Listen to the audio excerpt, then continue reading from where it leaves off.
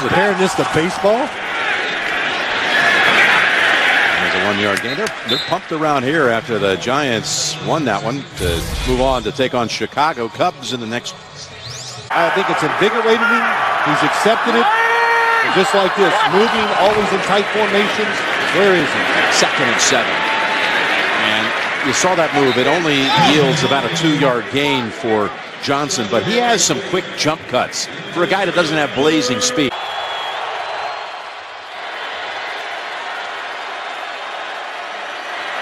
Third and one, and give him a new set of downs. Is plowing ahead as Ellington. I got to admit, I haven't heard Way that. down on the list. There's Ellington. I knew better. I know he did. Great value to the 20. Now look, he's not holding back. He's letting that football go. In words, he's not guiding it. He trusts himself. We trust this guy. Uh, not anything open.